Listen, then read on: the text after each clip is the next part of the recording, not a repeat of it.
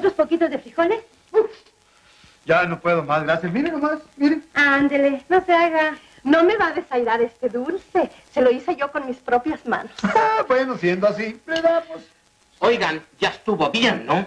¿Qué le pasa? ¿Cómo que me pasa? ¿No me van a dar de comer a mí? ¿Más todavía? ¿Qué le pide el cuerpo? Algo de beber.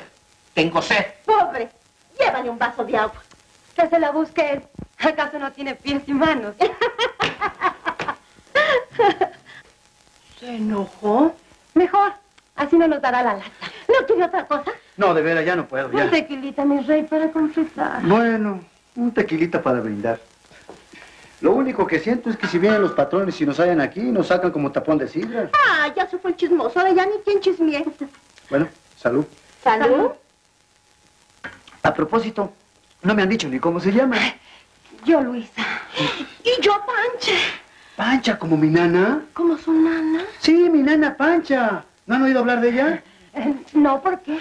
Si hasta hay una canción de mi nana. Oiga nomás, mire.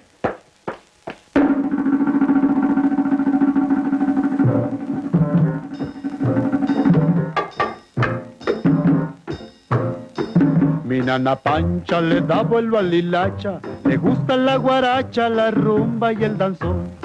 Según sus cuentas, cumplió apenas los 30 cuando Maximiliano llegó aquí a la nación.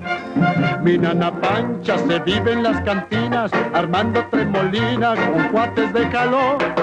Y se arma bola, se sube a la rocola y saca su pistola más grande que un cañón. Nana Pancha sube, Nana Pancha arriba, Nana Pancha, mi Nana Pancha le tuve a Charleston.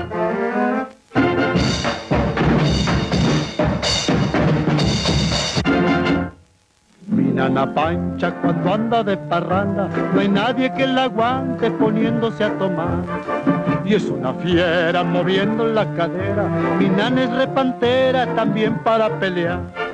Y ya no hay día en que la policía a la comisaría la quiera remitir. Pero ella nunca se deja y los insulta y paga doble multa, pero vuelve a salir. Nana Pancha sube, Nana Pancha arriba, Nana Pancha, mi Nana Pancha le tuve al Charleston.